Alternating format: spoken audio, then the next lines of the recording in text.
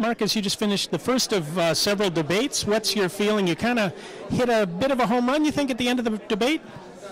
Well, I'm not sure about the home run, but you know, a bit the way I look at this, I'm an emergency room doctor. I've been a doctor for a lot of years. If the blood's not squirting on the ceiling, there's an airway. There isn't a big emergency, so I, I, I- think I, I bring that a bit to these kind of things that. Um, um, you know, a little perspective. Yeah, it's important, and you and you want to do well, but um, I, I, I- I think I have a little maturity in dealing with this. Hopefully. All right. Well, thank you for taking a couple of minutes, and we'll look forward to getting the debate on to uh, Shaw and uh, T. Thank you. Thank you.